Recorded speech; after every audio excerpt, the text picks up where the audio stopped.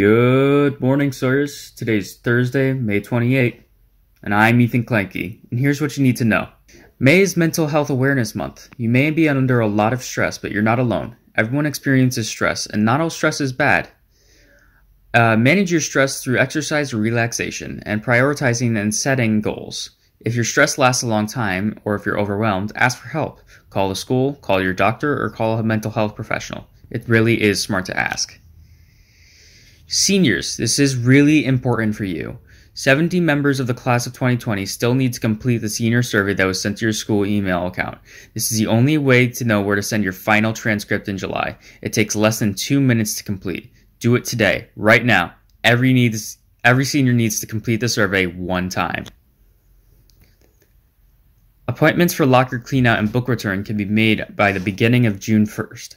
Uh, to ensure safety of everyone involved, social distancing will be enforced and masks will be required to be worn. Students should have received complete details in their social studies classes on Friday. When you return to uh, when you come to school at your scheduled time to get your belongings and return your textbooks, remember that you will also return your library books. There will be a bin in the junior high entrance and senior high entrance uh, on June 15th to 17th. You will still be able to read ebooks and listen to audiobooks all summer with the free Sora app. Login is easier now with your school Gmail username and password.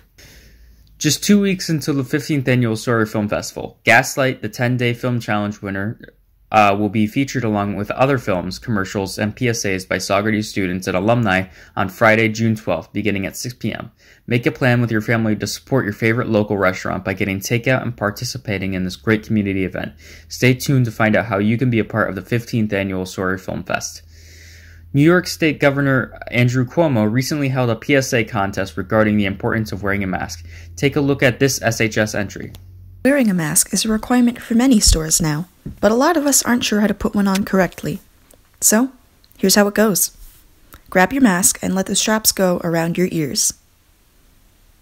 The mask should be covering your nose and mouth. Don't forget to pinch the mask at the nose so it's airtight. Now, go out and explore, and remember, during and after having the mask on and potentially being exposed to COVID 19, do not touch the outside of the mask. Be safe.